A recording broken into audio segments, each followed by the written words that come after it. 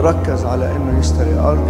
فجأة يأتي الغيث لأن الأيقونة البيزنطية هي ليس مجرد فقط رسم. يوجد مفتاح لهذه الكنيسة. نزحت هنالك بسنة 1880 هذه الخارطة اليوم اعتمدت باليونسف إلي أو إيلا هي أحد أسماء الله. بدايات الرعية كانت الراهب كان راهب ساكن هون وكانوا السياح اللي يجوا كل طائفة تسمى بالملة.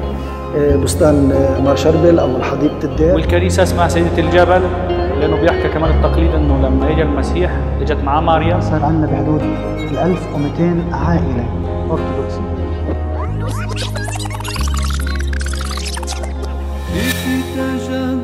تجددت حياتنا وولدنا من جديد.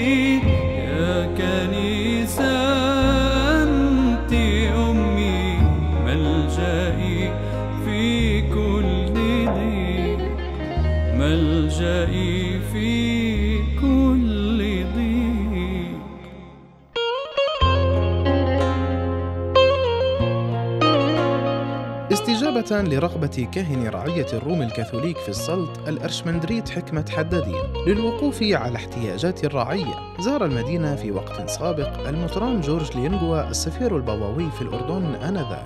وتبادلا الحديث معا حول ضرورة إقامة كنيسة ثانية للرعية في هذا المكان الذي يشتمل على مغارة مسيحية تاريخية.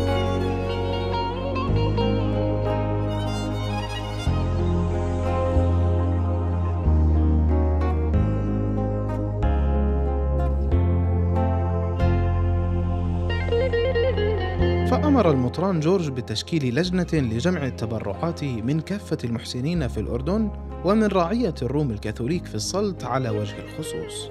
يا كنيسة يا مجيدة أنت هي بيت الله.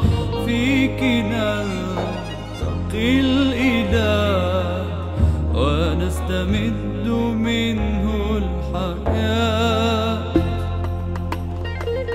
وبالفعل تم جمع المال وبوشر في بناء الكنيسة في هذه المنطقة المسمى بأم عطية إضافة إلى كنيستهم الأولى سيدة البشارة للروم الكاثوليك الواقعة في شارع الميدان.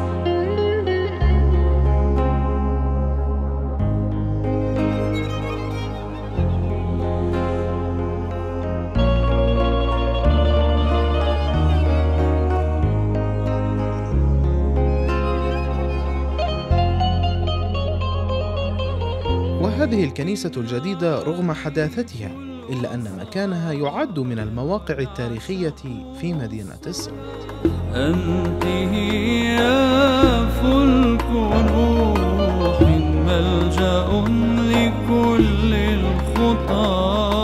الآن إحنا في منطقة أم عطية. هذه المنطقة هي أول ما بدأنا كنيستنا في السلط. لأنها كانت منطقة القبور القبور للروم الكاثوليك لطائفة الروم الكاثوليك. لأنه بالسلط في للاتين في مقبرة للروم في مقبرة وفي روم الكاثوليك مقبرة والبروتستانت في مقبرة. إذا هذا الملك تابع لكنيسة الروم الكاثوليك. فلذلك كان في هنا مغارة.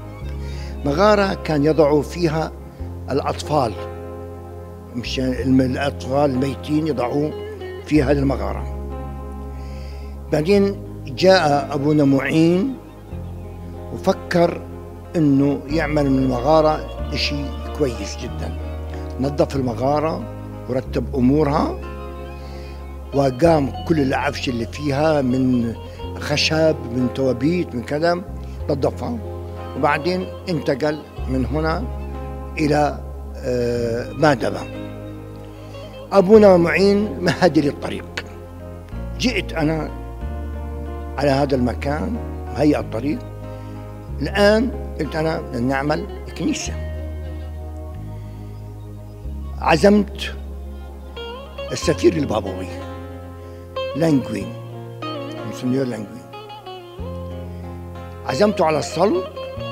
شاف إنه بحاجة إلى parking وبحاجة إلى كنيسة غير كنيسة البلد. فلذلك أعطاني الضوء الأخضر أن نعمل هنا كنيسة. وبعد تدشينها على يد المطران ياسر العياش في التاسع عشر من شهر كانون أول لعام 2014 أصبحت كنيسة حاملات الطيب في السلط جاهزة لإقامة الصلوات والقداديس الدينية وإحياء المناسبات المختلفة لكافة أبناء الرعايا المحسنين في المنطقة. دشنا صاحب السيادة المطران ياسر عياش ب 14 أو 19 12 2014 وكان احتفال جميل جدا بحضور السفير البابوي المونسنيور لانجوي الذي هو تبرع لبناء هذه الكنيسة.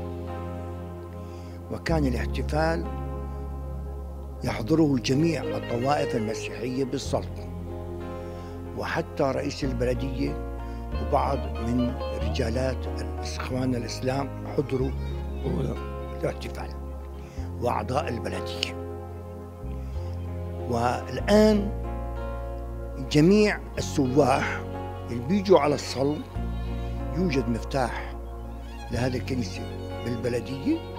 ساعة إذن برجوهم أيضا هذا المكان أصبح مكان محط للسواح.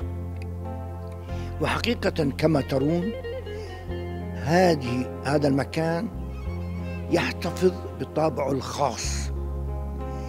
ما أدخلنا عليه إلا بس المقدم الكنيسة آه، المدخل ولكن كمغارة بكت كمغارة فقط نظفناها بالرمل. ولكن تضاريس المغارة هي هي وجمالها هو هو.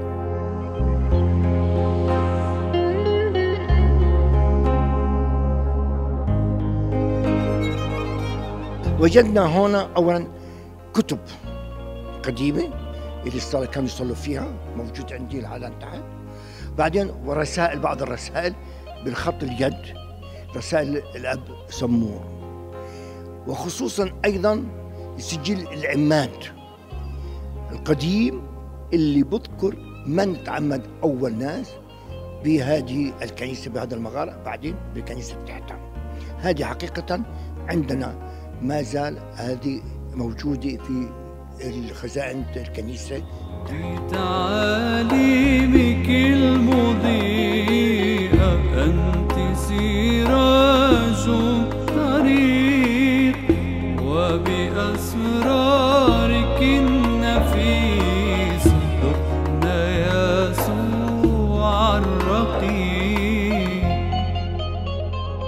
وأوضح الأب حدادين أن سبب تسمية هذه الكنيسة بحاملات الطيب جاء إكراما لنساء السلط المسيحيات.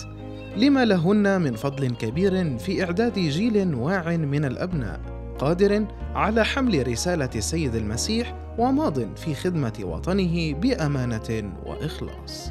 سمينا هذه الكنيسة حاملات الطيب. لأنه أول ما زاروا يسوع المسيح وهو في القبر حاملات الطيب.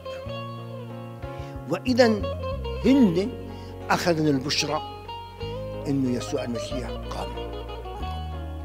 وهنا كمقبرة من يأتي إلى المقبرة؟ أكثر شيء هن النسوة. فلذلك إكراما لأمهاتنا وللنسوة سميناها بحاملات الطيب.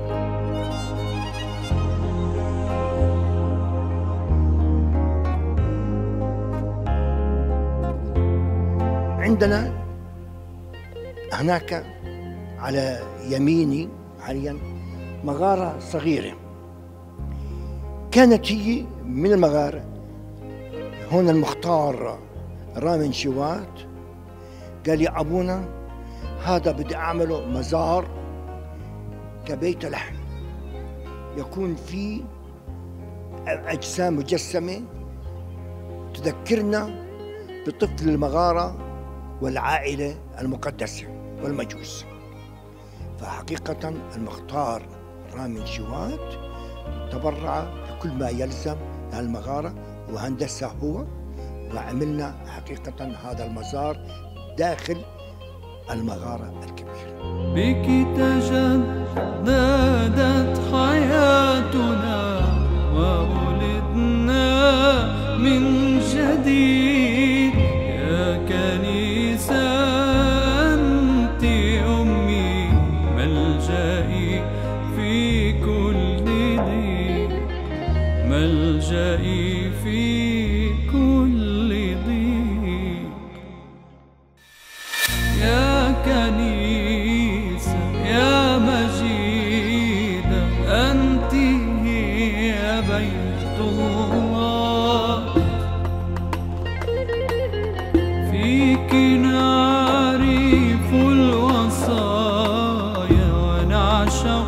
cansa.